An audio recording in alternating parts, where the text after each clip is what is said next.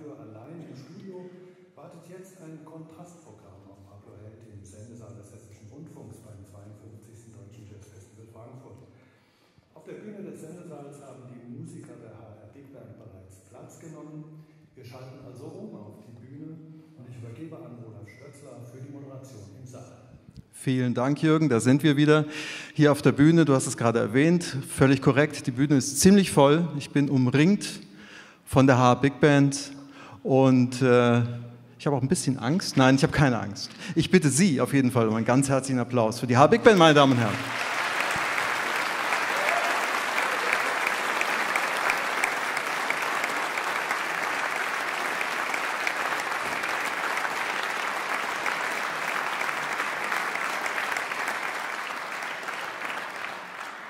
die Konzerte und Projekte beim Deutschen Jazz Festival, die wir hier immer spielen dürfen, die sind schon ein bisschen was Besonderes für uns. Ähm, wir haben hier den Freiraum, meistens oder nein, eigentlich immer etwas Neues zu machen, etwas Neues zu kreieren, ja auch mal ein bisschen was zu wagen, ein bisschen rum zu experimentieren und äh, Sachen zu machen, die vielleicht für eine Big Band nicht ganz so alltäglich sind.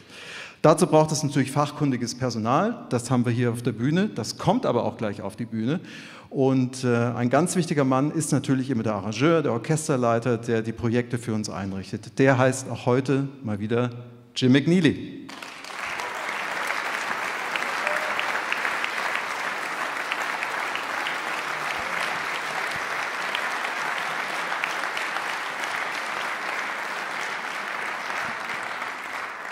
Und wir konnten der Versuchung nicht widerstehen, eine ganz fabelhafte Truppe einzuladen zu uns. Sie sind inzwischen ja ein Aushängeschild des äh, aktuellen deutschen Jazz und begrüßen Sie mit mir mit einem ganz herzlichen Applaus auch das Pablo Held Trio mit Jonas Burgwinkel am, Bass, äh, am Schlagzeug, Entschuldigung, mit Robert Landvermann am Bass und natürlich Pablo Held am Piano. Ich wünsche Ihnen viel Vergnügen.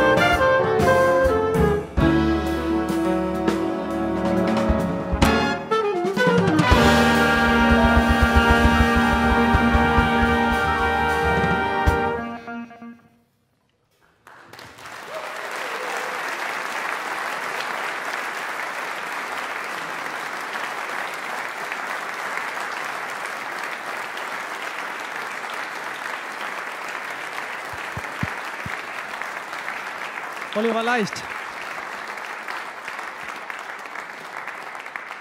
Oliver Leicht. Jetzt funktioniert es, glaube ich. Oliver Leicht am, äh, an der Klarinette. Einer elektrischen Klarinette.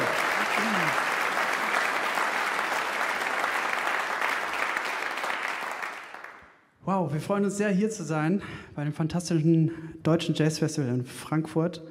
Ähm, wir sind ein Trio, das es schon sehr lange zusammen gibt. Wir spielen mittlerweile seit 15 Jahren zusammen. Und äh, mit dieser wunderbaren Band spielen wir seit äh, zwei Tagen zusammen. Aber es, es macht total Spaß, äh, diese Musik äh, neu zu erleben für uns. Wir kennen viele dieser Stücke schon lange. Und ich habe vor einigen Monaten diese Einladung bekommen, über die ich mich sehr gefreut habe. Und äh, dann wurde ich äh, mit, mit Jim McNeely in Verbindung gebracht. Und ich habe hab mir dann überlegt, welche Stücke passen könnten. Und äh, habe ihm eine Reihe von Stücken geschickt. Ich glaube, es waren acht. Und habe gesagt, schau doch mal, was sie mit dir machen. Hier sind Aufnahmen, hier sind Noten. Und dann guckst du mal, zu welchen du dich hingezogen fühlst und äh, wozu dir was einfällt. Ähm, und ich habe dann erst letzte Woche wieder was von ihm gehört. Das war eigentlich äh, lustig, weil ich, dann, ich bin jetzt hier hingefahren und wusste eigentlich gar nicht so richtig, was passiert. Ähm, und er hat mir dann gesagt, ja, ich habe jetzt einfach alle Stücke arrangiert. Fand ich gut. Äh, und wir haben angefangen mit einem Stück, was zu hören ist auf einer EP, die sich Descent nennt. Und das Stück heißt Elevate. Zu hören äh, an der Rhythmusgruppe. Das gefeaturete Trio ist neben mir äh, Robert Landvermann am Kontrabass.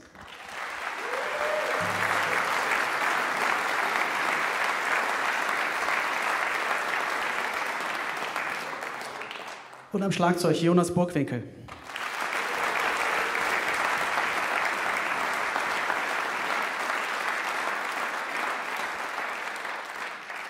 Diese fantastischen Arrangements stammen von Jim McNeely.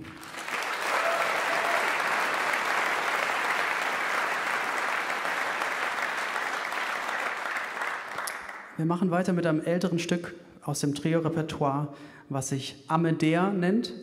Äh, seitdem ich Vater bin, seit ungefähr sieben Jahren, äh, habe ich nicht mehr so Schwierigkeiten, Titel zu finden, weil meine Kinder sich ganz tolle Sachen ausdenken.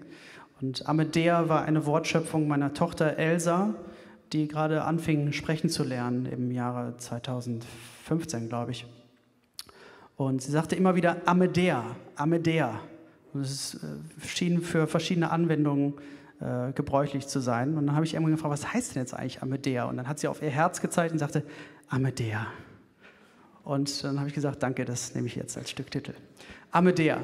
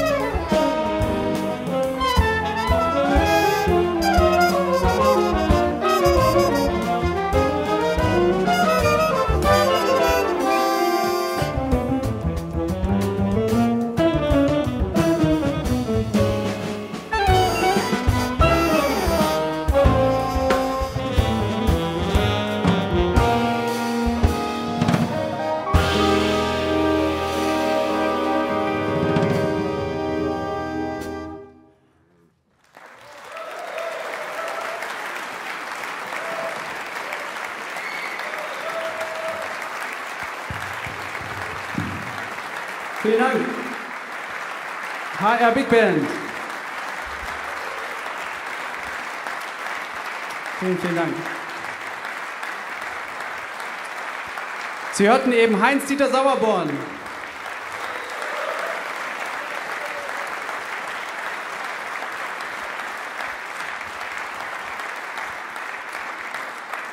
Danke sehr. Danke sehr. Äh, um kurz noch mal kurz zurückzugehen, wir haben auch davor in dem Stück Steffen Weber gehört, Oliver Leicht, Günter Bollmann und Axel Schlosser.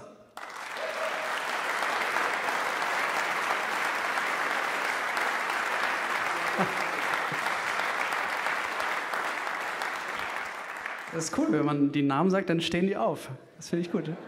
Funktioniert das beim Publikum auch? Henning Berg. Ah, schade. Ich habe dich gesehen, Henning, du bist da. Vielen Dank fürs Kommen. ähm, wir machen weiter. Ähm, das war gerade ein Stück von meinem Vater, Peter Held. Der hat wunderbare Musik geschrieben, äh, hauptsächlich für Solo-Klavier und ich habe es arrangiert für Klaviertrio und dann eine etwas größere Besetzung. Und Jim McNeely hat es jetzt für diese wunderbare Besetzung umarrangiert, Worksong. Wir machen weiter mit einem Stück, was ich geschrieben habe äh, für unsere letzte Platte mit dem Trio und äh, einem wunderbaren Gitarristen Nelson Veras. Das Stück heißt Forest Spirits und die, die Hintergrundgeschichte spare ich mir jetzt auf. Viel Spaß beim Spielen.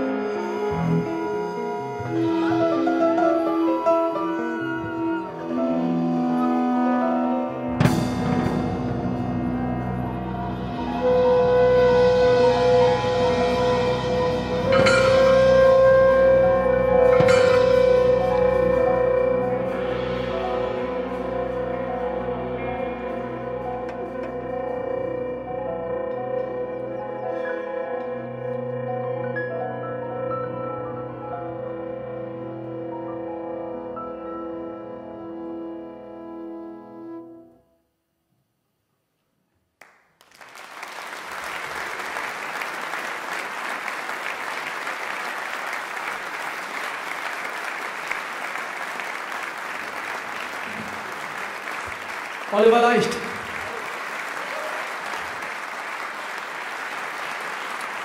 Und Christian Jaxhö.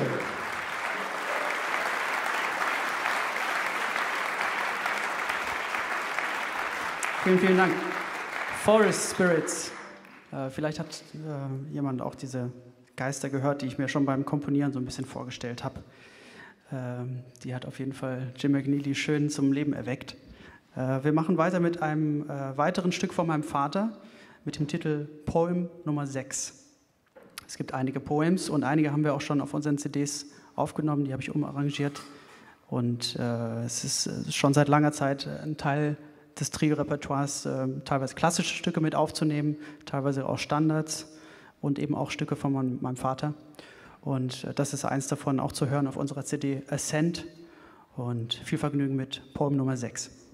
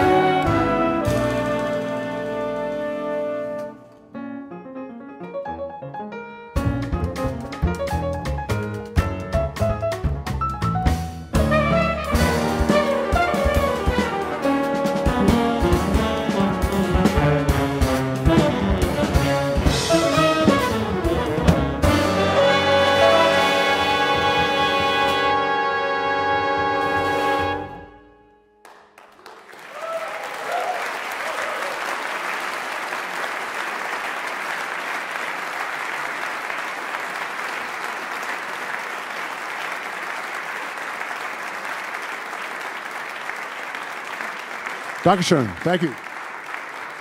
Thank you. Um, good evening from me and from the band. It's uh, such a pleasure to be playing for you here tonight, uh, and especially with this music and this great trio, the Pablo Held Trio. Amazing. And um, thank you.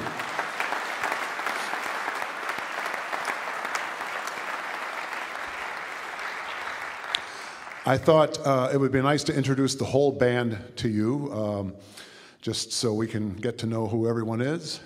In the trumpet section, we have Thomas Vogel, on lead trumpet Frank Vellert, Martin Auer, and Axel Schlosser, the trumpet section.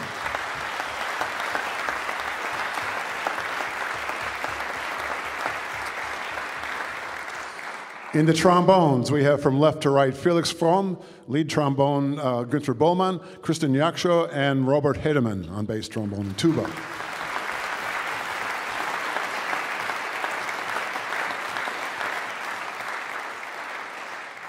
In the saxophone section, um, first, Tony Lakatosh, who is here in his final, last appearance with the band. Finally, he's back.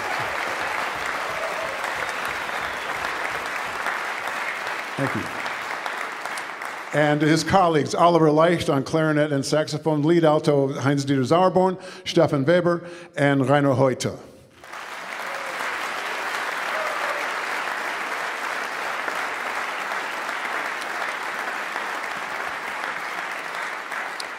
And then all the way in the back there, Martin Scales on the guitar.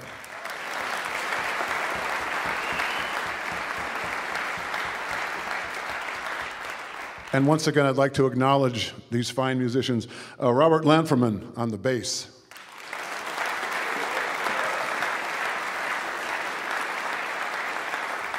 And Jonas Bergwinkel on the drums.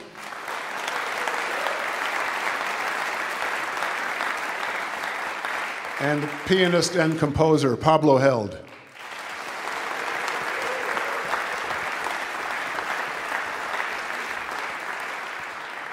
Now we will uh, do an arrangement of another of Pablo's songs. This is called Nocturne.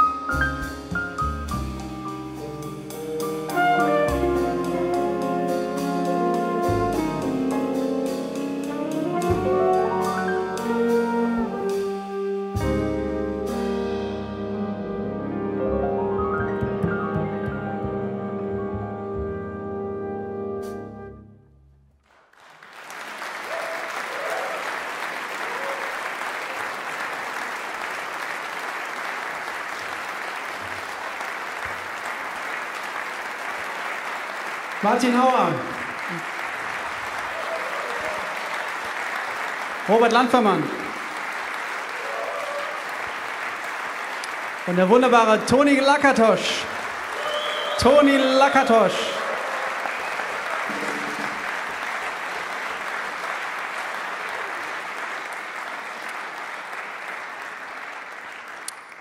Soll er noch ein Solo spielen?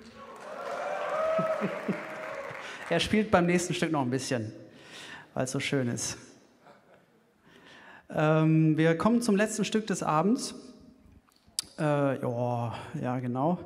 Äh, und es, äh, ich muss noch mal sagen, was das für uns für eine wunderbare Erfahrung ist, hier zu sein und mit dieser Band zusammenzuarbeiten. Äh, und vor allen Dingen auch mit diesem wunderbaren äh, Komponisten, Arrangeur Jim McNeely zusammenarbeiten zu können, ist total spannend. Und äh, ich glaube, wir haben die Zeit wohl genutzt, ihn kennenzulernen und von ihm lernen zu können er hat natürlich wahnsinnig viel erlebt und hat mit vielen von meinen Helden zusammengearbeitet und ähm, das ist dann einfach schön, wenn man die Zeit nutzen kann und einander kennenlernen kann und dann von so jemandem lernen kann. Ich möchte nochmal um einen großen Applaus bitten für den wunderbaren Jim McNeely.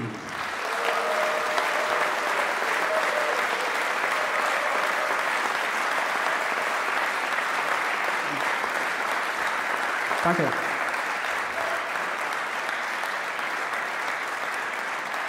Und äh,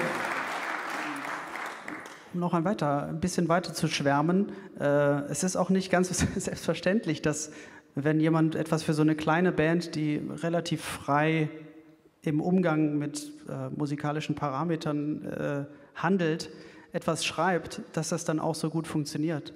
Und äh, es war wirklich so, ich habe ihn dann auch ein bisschen gefragt, wie er das denn eigentlich so gemacht hat. Und er hat sich unsere Musik wohl äh, wirklich schon seit einigen Monaten einfach dann angehört und hat sich versucht, in unsere Welt reinzufinden. Und wie gesagt, wir haben erst dann vor einer Woche dann mal kurz so geskypt und geguckt, was dann jetzt eigentlich so passieren könnte. Dann habe ich auch gefragt, brauchen wir die Noten? Sagt er, nö, ihr spielt einfach so, wie ihr sonst auch spielt.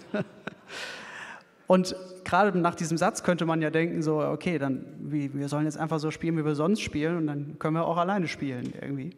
Aber eben nicht, weil ähm, wie er das dann eingefasst hat mit, die, mit der Band, äh, ist was ganz Besonderes und wir sind total dankbar dafür. Also danke, dass wir hier sein können.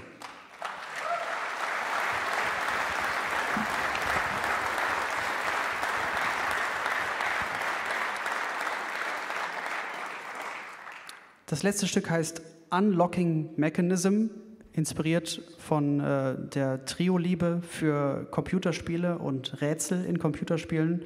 Äh, wenn diese Rätsel dann gelöst werden, dann öffnet sich manchmal ein riesiges Portal. Ähm, und an diese Portale und Rätsel musste ich denken, als ich das Stück geschrieben habe. Ähm, die Liebe äh, nach den Computerspielen hört auch nicht auf. Wir haben auch in den letzten Tagen im Hotel gegeneinander Computer gespielt. Und ähm, Unlocking Mechanism ist ein Resultat dieser Liebe.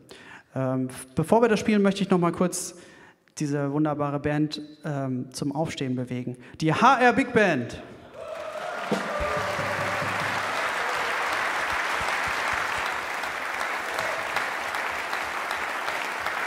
Unlocking Mechanism, viel Spaß.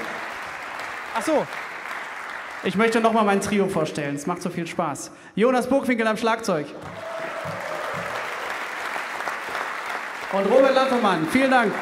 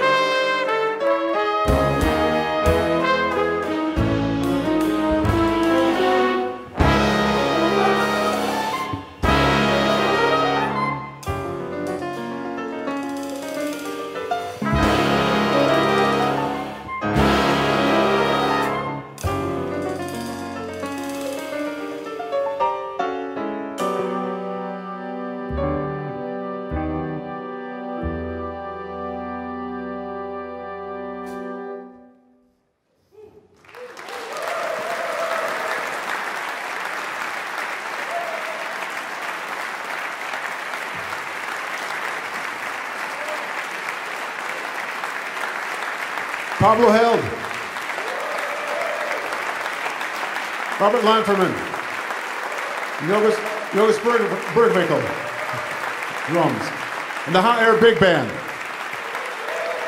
Stefan Weber on the tenor saxophone. Thank you very much. Dankeschön. Pablo.